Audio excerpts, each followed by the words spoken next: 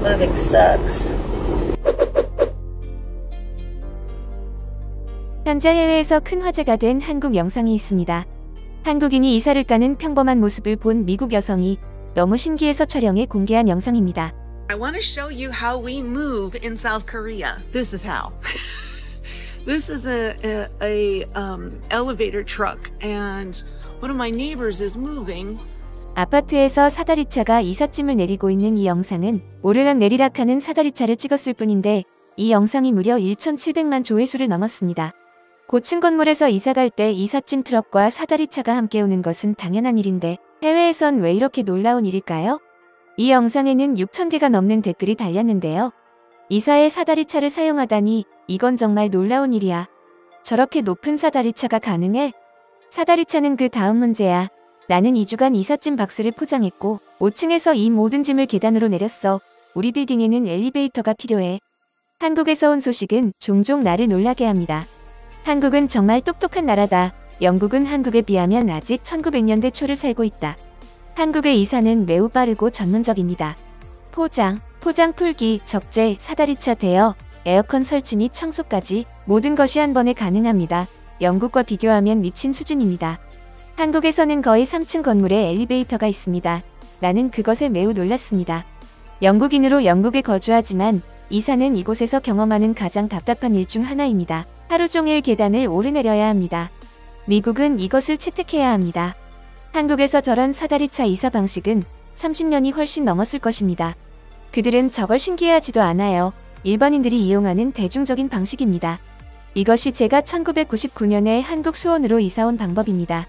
그들은 여전히 게임보다 훨씬 앞서 있습니다. 한국을 떠나지 못하는 이유입니다. 이것이 바로 내가 한국 문화를 좋아하는 이유다. Oh my god 이래서 내가 나이가 들면 한국어를 배워 한국으로 가고 싶다는 거예요. 저건 아무것도 아니다. 한국의 이삿짐 업체들은 너의 소지품과 가구를 포장해 너의 새 집에 도착한 후 그들은 각 방에 짐을 풀고 정리하며 집을 청소하고 조용히 사라진다. 이사는 한국인에게 큰 문제가 아닙니다. 그들은 자신이 소유한 모든 것을 가지고 다닙니다. 이사하기 전에 물건을 팔거나 버릴 필요가 없습니다. 그들은 심지어 짐도 싸지 않아요. 이사업체가 다 해준다고 그냥 기다립니다. 이건 정말 천재적입니다. 이사는 이렇게 높은 수준에서 이루어져야 합니다. 나는 여기로 이사할 때 방 두 개짜리 아파트에 3,500달러를 지불해야 했어요. 차로 단 20분 거리에 있었고 중형 트럭 한 대만 필요했습니다. 그런데도 일하는 사람이 없어서 제가 도와줘야 했어요. 한국은 이사 천국이네요. 미국에도 포장과 이사 서비스가 있습니다. 비싼 돈을 주고 업체에 맡겼는데 안타깝게도 그들은 이틀 늦게 도착해서 아무것도 없이 사흘을 기다려야 했습니다. 한국인들은 24층 같은 고층에서도 저렇게 하는 걸 봤어요. 신기해서 30분을 구경했어요.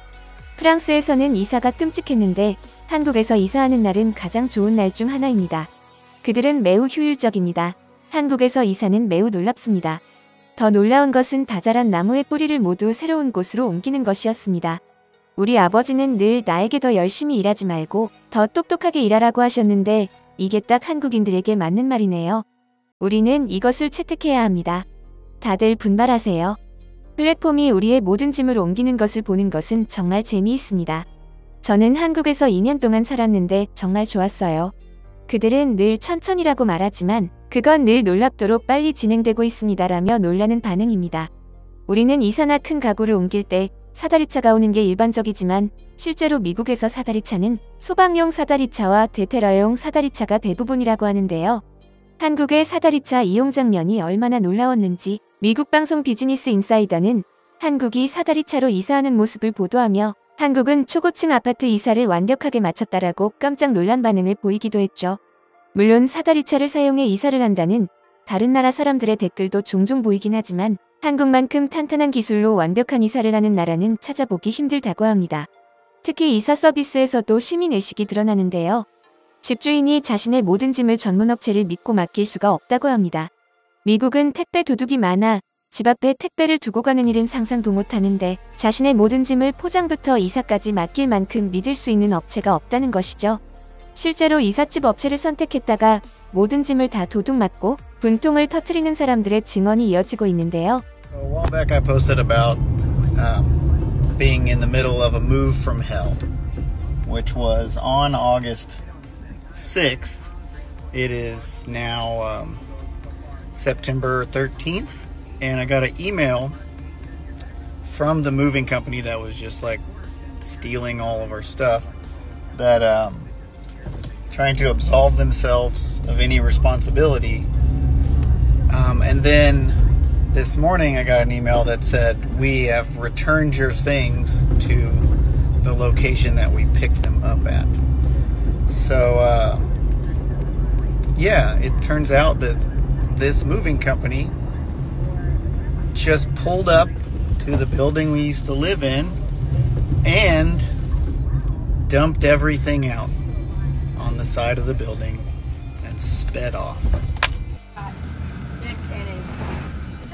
또한 휴가 기간 동안 가족 전부가 여행을 다녀온 사이 도둑을 맞는 경우도 많습니다. 도둑들이 이삿짐 센터 직원들로 위장해 단지 내로 들어가 이삿짐을 옮기는 척 귀중품을 모두 가져가는 경우도 흔하다고 하는데요. 이를 본 이웃들조차도 이사하는구나라고 생각할 만큼 매우 자연스럽게 모든 물건들을 훔쳐간다고 합니다. 택배도 마찬가지입니다. 마치 택배 트럭처럼 꾸민 대형 트럭이 타운하우스 구역을 돌며 반품 물건을 수거하듯 택배를 훔쳐가는 것입니다. 상황이 이렇다 보니 미국에서는 이사를 하기 전 몇 달에 걸쳐 벼룩시장에 물건을 팔기 시작합니다.